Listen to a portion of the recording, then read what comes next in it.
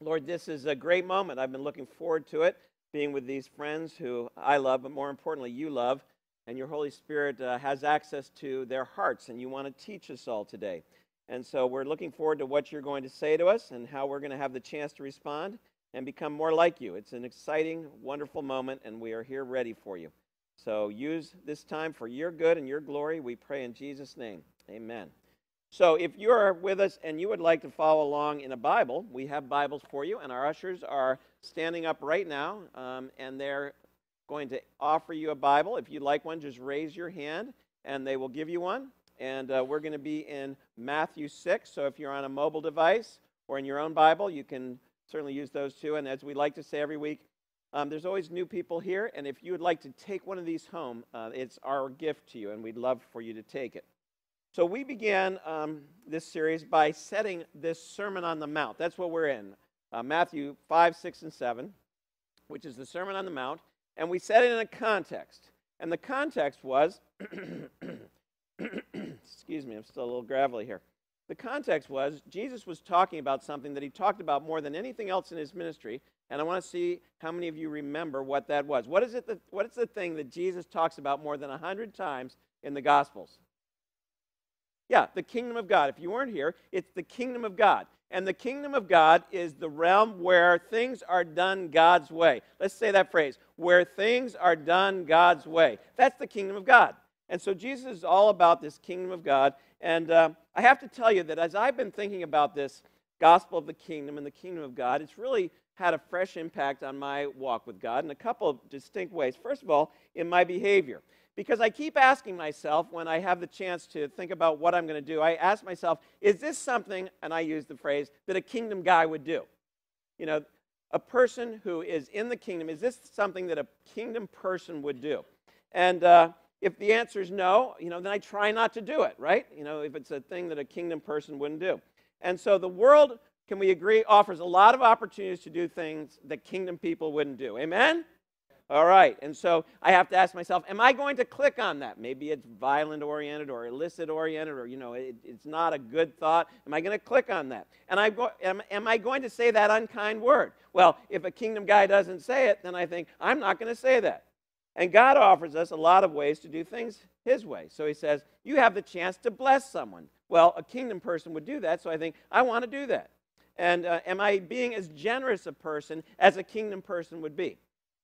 Now, I had a kind of a unique opportunity this past weekend. We were away, and uh, we went on a trip, um, just the four of the Bolton family my wife, myself, and my two daughters.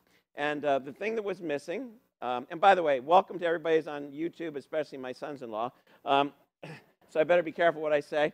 Um, so, uh, anyway, it was just the four of us, and we hadn't done that since my first daughter got married almost 11 years ago. And so we were going through the weekend and we were having some fun. We were doing some great things. But about um, toward the end of the trip, I noticed that there was something in myself that I didn't like, and that was that I was being a bit selfish and ungenerous. Um, can any dads relate to that sometimes with your family? You know, you're just feeling a little bit selfish, maybe you're a little tapped out.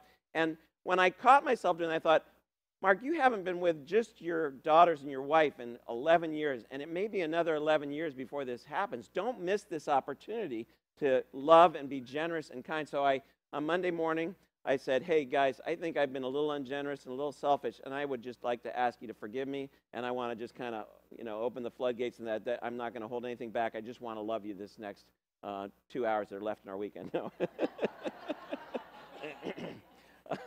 and I have to tell you that when I did that, um, it really kind of changed the tone and it capped off our weekend in a way that was really, especially, we had a good weekend, but it was especially intimate because what I had done, and, and what is that called when you do that? Does anybody remember from the gospel what it's called when you do what I just did?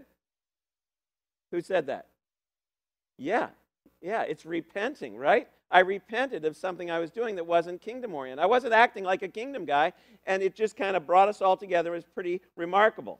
Now, the second way that I've been impacted by this Jesus kingdom message is in the way that I've been sharing the gospel. And I had the opportunity, as I do from time to time, I had a gentleman come into my office last week, and we were talking about some things. He had some things on his mind, and uh, he wanted to share about those. But I said, I want to hear that. And then I responded to what he was saying. But I said, I, I have a message for you. And I want to tell you this thing. It's, it's the kingdom gospel. And I'm going to put up this framework because this was the framework of the conversation that I told you I would use in week one of this series five weeks ago. And I used it with him. So the first thing I said is, I won't use his name, but I said, Are you doing the will of God? And you know what he said? He said, No. I mean, just like that. He said, No. Uh, no, I'm not doing the will of God. And I said, Well, Jesus came and he said, I am bringing a kingdom, and this kingdom is where things work God's way. And he wants you in it. He wants you in that kingdom. He wants you to be a part of that kingdom. And you know what that guy did at that point? The tears started to come down his cheeks.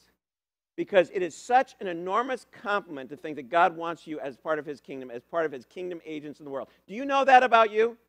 God wants you to be a kingdom agent, bringing his love into the world. Do you know that about you? That's his plan for you. He says, Get into my kingdom and be part of this great contagion of love in the world. I want you in it. And so the tears began to come. And I said, But since you said you're not doing the will of God, and of course anybody would say that, you have to change that. And that's actually what the Bible calls repenting. You have to turn from that, stop doing things your way, and start doing things God's way. And because you have that record of doing those things that way, the next thing you have to do to get into the kingdom is you have to repent and believe. I said, repent. Now you're going to have to believe the gospel. And the gospel is that Jesus paid for all that stuff you did that was outside the will of God. And then he rose from the dead to give you the same power that raised Jesus from the dead is available to you to live a new kind of life. And you can do that, and God wants to do that. And then there's one last thing. When you walk out of my office, I'm going to tell you with everything that you're facing, I want you to just do one more thing, and that is follow Jesus in everything you do. And he talked about some things that he was facing. He said, What about this? What about that? I won't use the details. And I said, I can't give you all the answers, but I can give you the framework that will give you all the answers. And that is whatever it is you're doing, just ask the question, What does it mean to follow Jesus? And it was like, That's all you have to know. Just go out and follow Jesus. So I have just found this really transformational. And so what we're going to see today is that uh, this Sermon on the Mount is Jesus' way of saying, here's what life is like in the kingdom. here's what my kingdom guys and kingdom women are like. Here's what kingdom families are like. Like I told you that description of my family. When I was done with the weekend, I thought, that's the way a kingdom family should live. You know, you make mistakes, you repent, you believe that God forgives you, and then, you know, you walk with Jesus, you follow Jesus, and things kind of go pretty well. And so Jesus is saying, I want to show you how kingdom people live. And in this particular part of the message, what he's doing is saying, I want to show you how you enact your religious activities in a way that kingdom people do. So he's going to talk about three religious activities, which are giving, praying, and fasting. And he's going to tell us how kingdom people do those things. You ready for that? All right, good. Well, let's read the scripture. We're going to turn to Matthew 6, 1 through 16, 16 through 18. Turn to it in your Bibles, get it on your mobile devices. Let's stand for God's word, okay? I'm going to wet my whistle, see if that helps a little bit. okay, beginning with Matthew 6, verse 1. Jesus says, Be careful not to practice your righteousness in front of others, to, to be seen by them. If you do, you have no reward from your Father in heaven. So, first category, when you give to the needy, don't announce it with trumpets, as the hypocrites do in the synagogues and on the streets, to be honored by others. Truly, I tell you, they've received their reward in full. Verse 3. But when you give to the needy, don't let your left hand know what your right hand is doing, so that your giving may be in secret. Then your Father, who sees what is done in secret, will reward you. Verse 5, second category. And when you pray, do not be like the hypocrites, for they love to pray standing in the synagogues and on the street corners to be seen by others. Truly, I tell you, they have received their reward in full. But when you pray, go into your room, close the door, and pray to your Father who is unseen. Then your Father who sees what is done in secret will reward you. Third category fasting.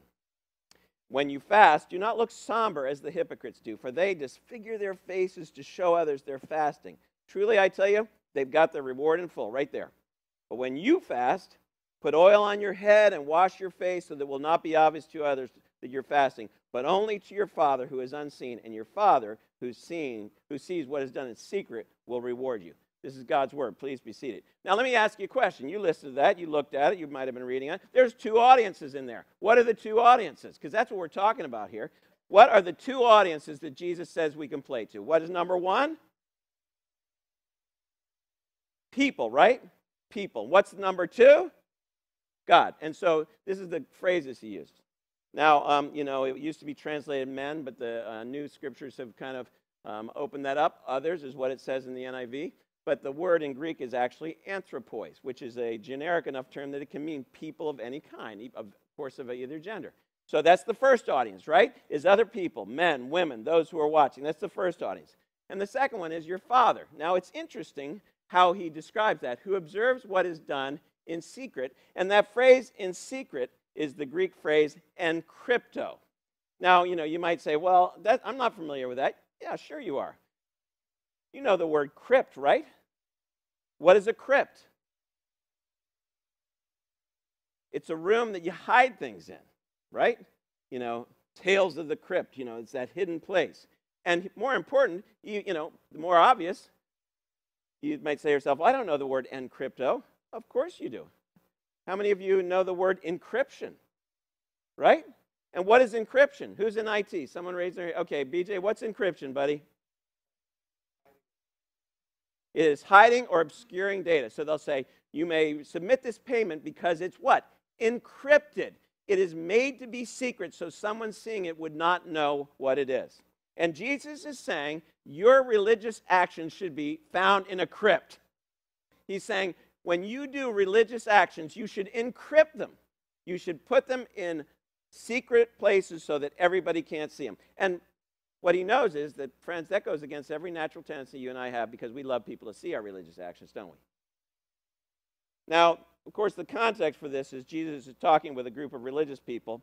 And these religious people in Jesus' day, the Pharisees, they loved to do their religious actions. And how did they love it? Did they want to play for God or for the people? Come on, talk to me. For the people. That's exactly right. They want to do it for the people.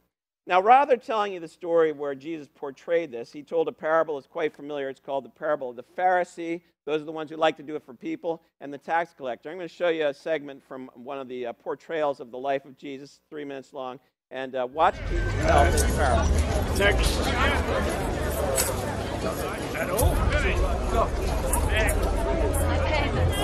All taxes must be paid in full! I'm not to go. Take it away. No!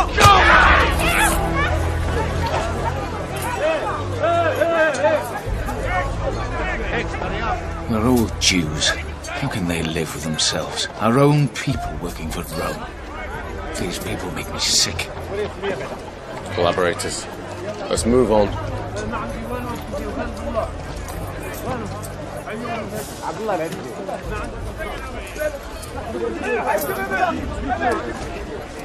They're stinking vermin. You should keep your distance from them. Two men went to the temple to pray. One a Pharisee, and the other one a tax collector. The Pharisee prayed, God, I thank you that I'm not like other men. Thieves, adulterers, or this tax collector.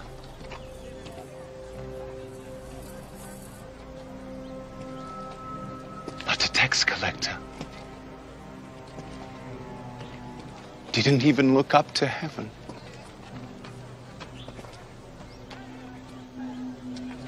Said, God,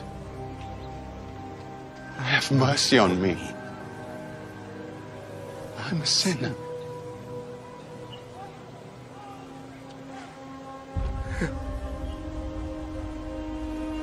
God bless the tax collector not the Pharisee. Anyone who praises himself will be humbled. And anyone who humbles himself will be praised. Matthew, come.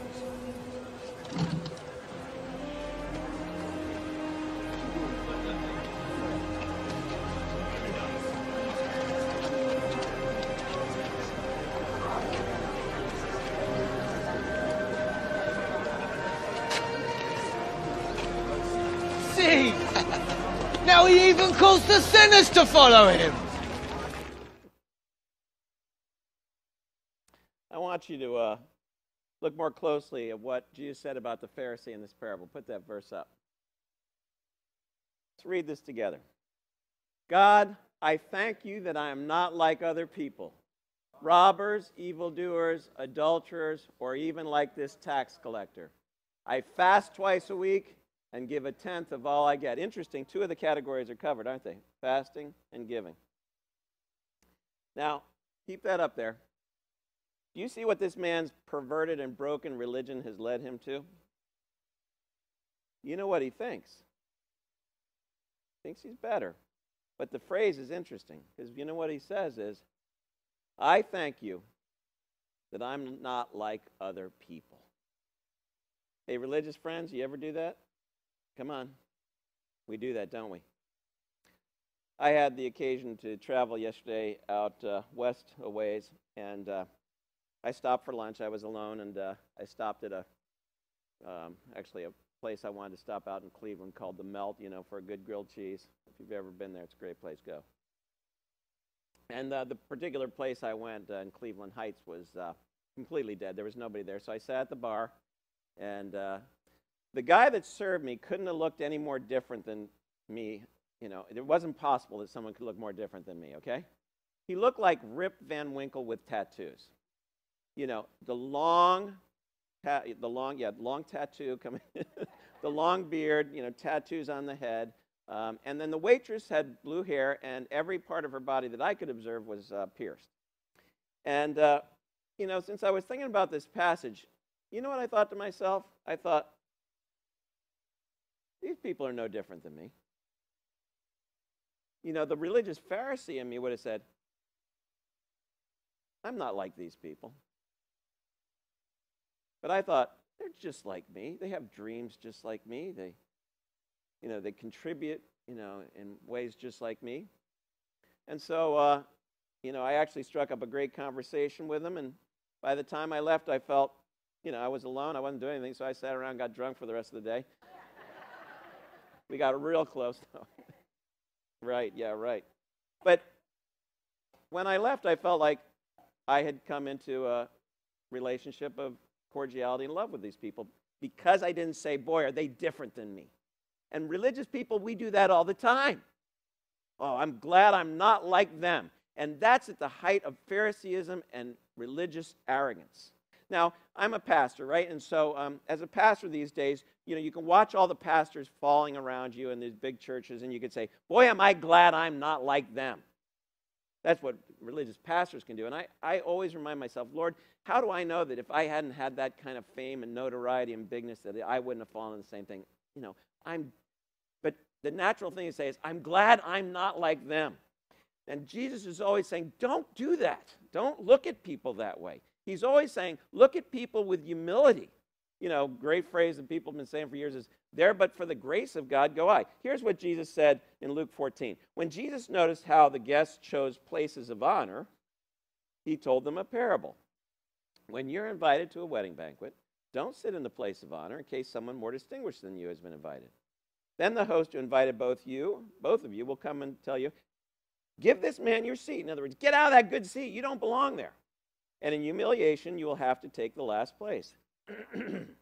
but when you are invited, go and sit in the last place, the least desirable place, so that your host may come to you and say, Hey, friend, move up to a better place. Then you will be honored in front of everyone at the table with you.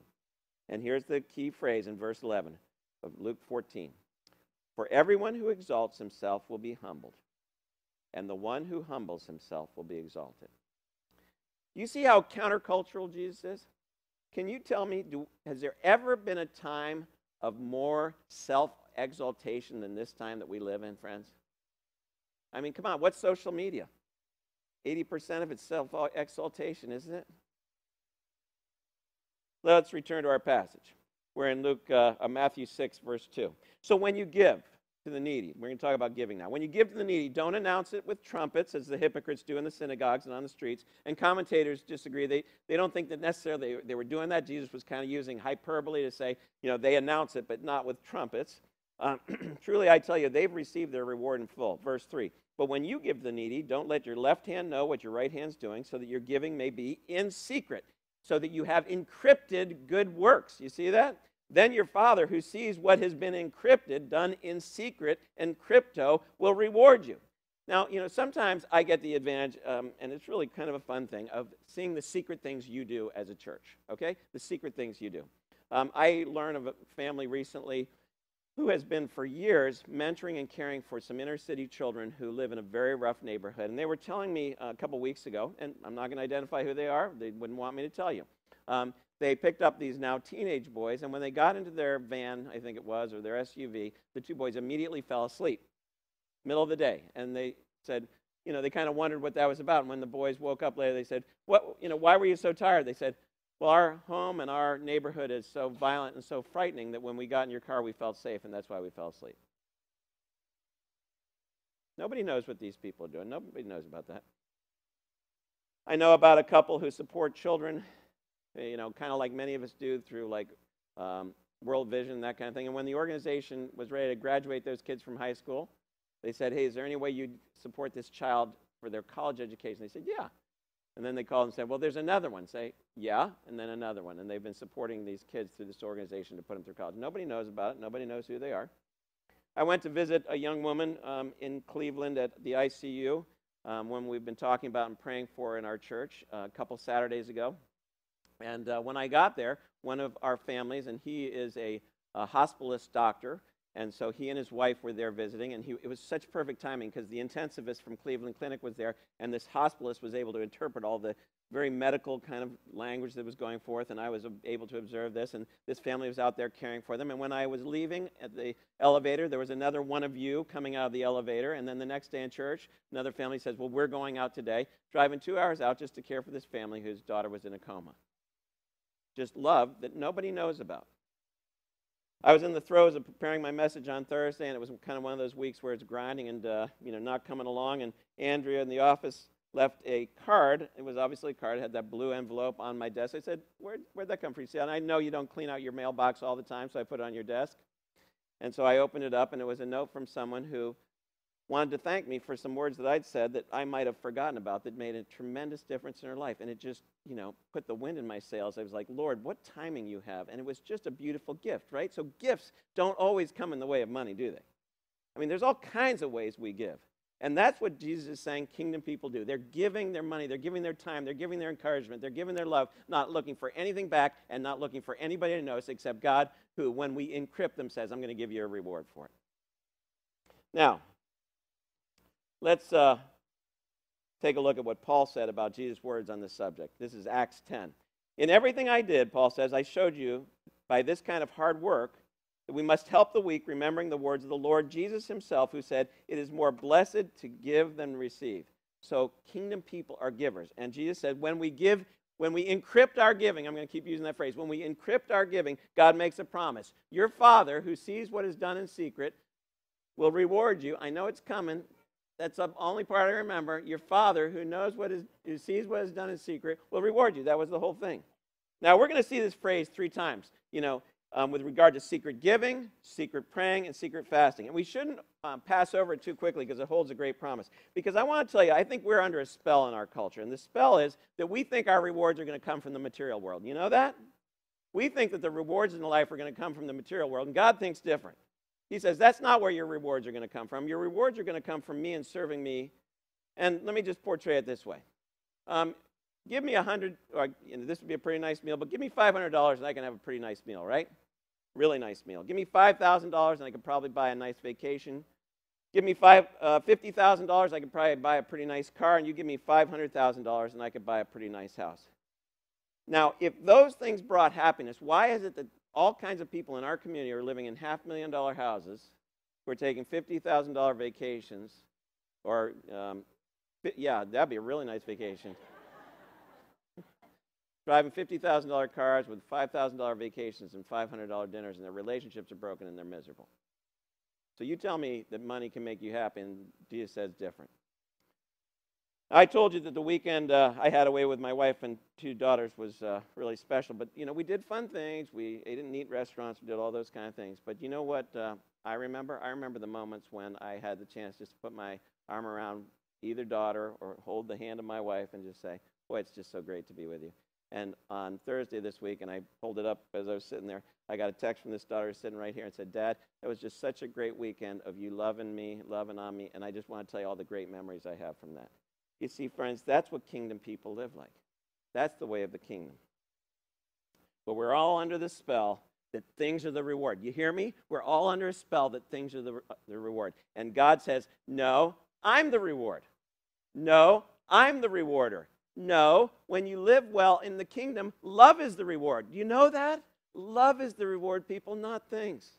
And he says, Come into my kingdom and stop trying to satisfy yourself on sawdust and live in this world of love and this world of giving and this world of serving, and you're going to have the joy I meant you to have. And even your troubles, your broken relationships, your losses, your weakness, your terrible memories, I can even turn those into good for my glory. Amen. It's true. It's true. You know, we say we're believers, don't we? But we don't take God at His word in this, friends, because we've become so worldly that we have lost our ability to fall in love with the right things. Do you hear that? We've become so worldly that we've lost our ability to fall in love with the right things. That's true for me and it's true for you. And are we going to believe Jesus? Are we going to take him at his word today or aren't we? Let's take him at his word. So Jesus says, when you give, keep it secret as much as you can, and I will reward you. You trust me in this. Now, let's go back to our passage now and look at, at prayer. Um, and when you pray, don't be like the hypocrites, for they love to pray standing in the synagogues and on the street corners to be seen by others. I tell you, they've received their reward in full. But when you pray, go into your room, close the door, and pray to your Father who is unseen. Then your Father who sees what's done in secret will reward you. Now, you probably know what a hypocrite is. It's an actor, it's someone who puts on a face. And when they're acting in the you know, Areopagus or when they're acting in Broadway, we accept it. But Jesus is saying, you don't act when you do your righteous deeds. You probably remember what we uh, saw John Stott say in week one of this. He said, There is no single paragraph of the Sermon on the Mount in which the contrast between the Christian and non Christian standards is not drawn. A Christian's character was to be completely distinct by that admired by the world. So resist all temptation to make your praying public or to talk about it because God says it's between you and me, and then I can reward you when your prayer is encrypted. Now, you know, I'm a little bit different than you. I liked Adam's joke. You know, I get paid to be good. You guys are good for nothing. Um, that, that's a good one. But I, I bet this never happens to you. Do you get asked to pray in public that much? Probably not that much. That, get, that happens to me all the time because I'm a pastor. It's like, you're a professional prayer. They expect great things out of you. And then what, what happens is, it's funny because maybe you're at a banquet thing, this happens all the time. Maybe you're with friends and, and you go up and you pray, and then you sit down and people say, Good job. They pat you on the back. Now, that's nice. I, I, it's better when they say, Boy, that was terrible. You know, that was an awful prayer. But anyway, that happens to pastors. So I was thinking about it. Maybe if we were more honest, we would pray like this when we get into those situations. I'm going to just try this on you. You can tell me if you think I should use it at my next wedding. God, I have no business being here in front of these people, leading them in prayer. You know my heart. You know how selfish it is, and you know how I love people's applause. If these people could see into my heart, they wouldn't want me to lead them in prayer. They probably wouldn't want me to lead them in anything, but they've asked me here, so here goes. God bless this couple and our food. Amen. now let's talk about this last category of fasting because Jesus assumes we're going to fast. And uh, there, there's two reasons why we fast in the spiritual world. I mean, I was talking to someone earlier who does like a five day fast periodically for uh, health reasons. That, that's different. When we fast for spiritual reasons, we're doing one of two things. One, we're strengthening our no muscle. Have you ever noticed how hard it is to say no to, let's say, a cookie or, you know, to food? I, I notice that all the time, right? And so fasting is a way of saying to your body, I can say no to you, and you sometimes have to obey that. Because we're you know, God wants us to be able to say no to lust or to greed or to uh, overeating, you know, those kind of things. So he says, every once in a while, you should try just telling your body, I'm the boss. And you do that by fasting. The other reason we fast is because we might have something special we're praying about, and we say to God, God, I'm so serious about this that I'm going to miss my meals today. I'm going to pray for this person. And that's the other reason we fast. So those are the reasons we fast. And when we fast, Jesus says, reduce or um, remove all temptation. Do not give in to telling people about it. Now, I want to tell you about when I fast. I actually found that a little challenging, this message, because, you know, I can't use my example. So uh, there you go. Um, I want to close by showing you the difference in this, uh, in this passage between religion done in the world's way and done God's way. Take a look. So, verse 1, it's in front of others to be seen by them. Verse 2, it's to be honored by others. It's to be seen by others. Verse 15, it's to show others they are fasting. And then here's the way we're supposed to be doing our giving should be encrypted. Your Father who sees what is done encrypted in prayer will reward you, and your Father who sees what's done encrypted in fasting will reward you. Um, so it's all about those secrets. It's about what we're going to keep secret. What are you going to keep secret? What are you going to keep secret? So I had an interesting experience a couple summers ago. It was uh, summers ago. It was the summer of 2018, and my wife and I uh, had always thought it would be fun to go to that part of the Bahamas. Um, I don't know if you know of this, but you can take these excursions down in the Exumas to Thunderball Grotto. Those of you who are Bond fans, um, and you swim under the rocks, and you're in this grotto where Sean Connery was in Thunderball. Loved, always loved Sean Connery and Bond, so that was the highlight of my trip. Gina said, I want to go, and I said, if we go to Thunderball Grotto, I'm in. And um, on the same trip, same excursion, they take you to that pig island where the pigs swim out to the boat and you feed them. And that's kind of cool. Yeah, you see that on HGTV. It's like, I want to do this. I should show you the pictures, but I didn't bring those up. And then there's an iguana island. Then they serve you lunch and, you know, on one of the little islands. So it was super fun, super fun, just a couple days. Well, we were sitting in our hotel. It was just two nights stay, and we were getting ready to catch our flight back uh, over to Florida. And uh, I was sitting there having lunch, and you know how your phone pings you when you get an email, and you just see the header on it? You, know, you just see the first line of, you know, like the title. And in the title was my password. You know, the password. It was a little bit of an older password I used, but it was my password, which I'm not going to say to you so that you can't uh, get into all my things. And uh, so I thought, oh, what's my password doing here? And then said, let me get, your, let me get right to the point. I have video of you on, we, we, I got into your computer and hacked it, and so I know that you've been going to adult sites. And not only that, but then I hacked your camera, and I have a video of you watching those adult sites. And I'm going to distribute that because I also was able to get into all your contacts and your Facebook, and I'm going to send the video, the split screen of you um, interacting with those and that pornography uh, to 11 of your best friends. Unless you send me $1,300 in Bitcoin. Let's just get this done. You got 24 hours. Yeah. You know, it's interesting. I talked to a guy in the earlier service. He had the same email. And, uh, you know, you're sitting there, you're getting ready to fly back, and, you know, you've had a nice time. It's pretty unnerving, right? Pretty unnerving because, you know, you're being extorted. But there was one thing that kind of didn't bother me about it. I don't go to adult sites.